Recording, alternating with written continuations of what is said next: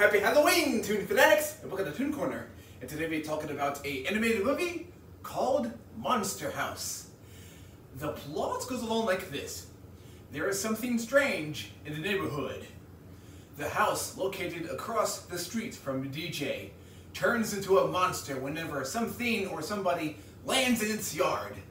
And so it's up to DJ, Chowder, and Jenny to learn more about the monster and destroy it. As far as the plot goes, it is very good. I thought that the balance between horror and comedy was very well done. As far as the cast goes, DJ is this kid who is going through puberty and also spies on the owner of the monster house. Chowder is this very comedic and lovable goofball.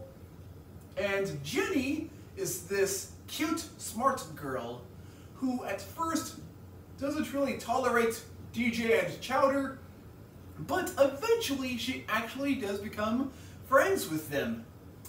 As far as the movie overall, I highly recommend it!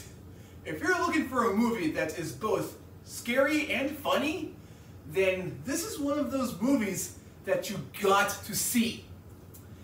And the question of the day is,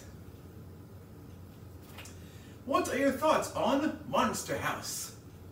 Just let me know in the comment section down below you have any requests. And I'll see you next time in Toon Corner.